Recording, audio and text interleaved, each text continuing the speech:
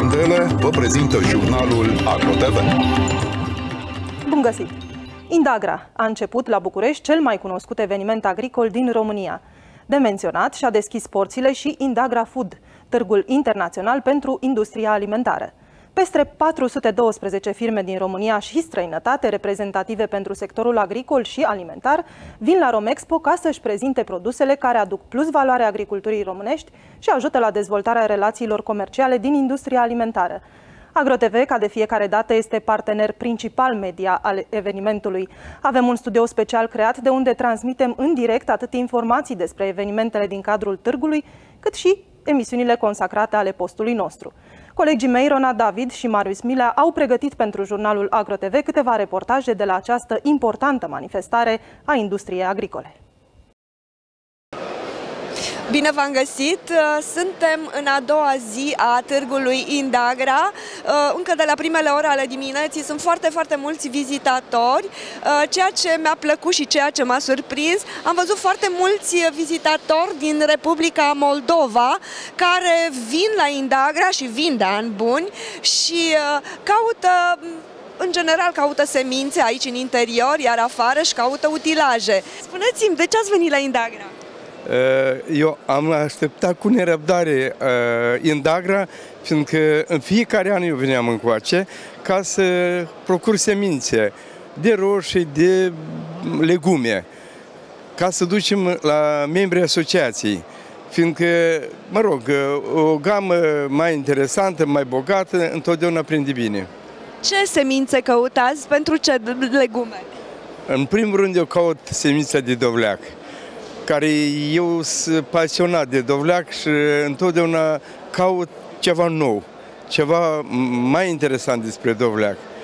Dar nu mă duc numai cu dovleac, dar mă duc cu toate semințele care mă interesează. Da, roșii, roșii indeterminant aveți? Nedeterminate. Și una și alta. Dorești cu seme determinată și nedeterminată? Da, da. da. Găsiți ceea ce doriți? Păi văd că e bogată Indagra azi, mai ales în semințe de legume. Ia să vedem? Ia să vedem. Este un hibrid cu creștere uh, nedeterminată, adică putem să lăsăm câte, câte uh, etaje dorim noi, câte inflorescențe, câte fructe dorim noi. Aici avem un hibrid cu creștere semideterminată, adică se încârnește un, la un moment dat la 5-4 etaje, iar aici avem un hibrid cu creștere determinată, adică sub formă de tufă. Foarte interesant. Oh, iau culoare foarte atrăgătoare, numai nu știm gustul cum va fi. În fine, cred că... Avem ceva și pe negru, care are o pruină, da, face fructul undeva la uh, 4-5 kg.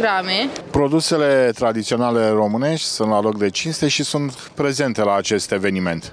Da, uh, participăm de 16 ani la acest eveniment. Doar cât a fost pandemia, un an de zile n-am participat. Lumea, consumatorii, inima în sare în sus când vând și ne spun că ne cumpără produsele, ne cunosc, e un lucru foarte mare pentru noi. Chiar le-am povestit uh, consumatorilor care ne cumpără și degustă produsele noastre că în spatele la ce vedeți dumneavoastră stau peste 4.000 de fermieri și am rugat cu încredere să ne cumpere în continuare produsele, să mâncăm sănătos românește, să luăm tot ce se produce cu materii prime românești, să rămână banii la noi în țară. Cum se prezintă momentul de față sectorul ovin în România? Ce să spun? Suntem, eu aș zice că suntem acolo, pe la jumate. Nu ne putem nici văita, nu ne putem nici lăuda. Astăzi. Nu ne putem văita pentru că în anumite zone ale țării și mai ales în zona de unde vin eu, din zona de vest, după secetele crunte de astă vară, uh, acum, acum a plouat și animalele au, au iarbă, au ce mânca. Uh, toamna aceasta lungă, cum se, cum se anunță, uh, e benefică. Cumva, cumva ne revenim după seceta de care am zis. O fi mai greu la iarnă cu, cu furajele, pentru că scumpe. Și partea, partea mai, mai, a zice o parte mai proastă a lucrurilor este că totuși mielul nu este plătit după, după prețul furajelor. O conferință unde deja se vorbește de viitorul pisciculturii în uh, România. Suntem pe drumul cel bun în aceste momente? Da, suntem pe drumul cel bun. Uh, Autoritatea de Management pentru Pescuit și Afaceri Maritime din cadrul Ministerului Agriculturii a trimis de acum două săptămâni la Bruxelles forma finală a programului operațional pentru acvacultură și pescuit.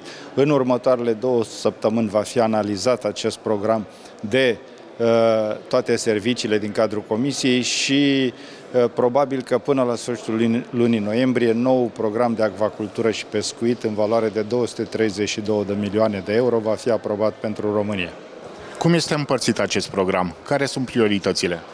Programul are trei priorități mari. Prioritatea 1 e legată de dezvoltarea durabilă a zonelor pescărești. A doua prioritate este legată de acvacultură și procesare, care am dedicat 50% din buget, aproape 100 de milioane, primeia 50 de milioane și a treia prioritate în valoare de cam 50 de milioane este legată de măsuri de inspecție, control și uh, menținerea activității în zonele pescărești ale României.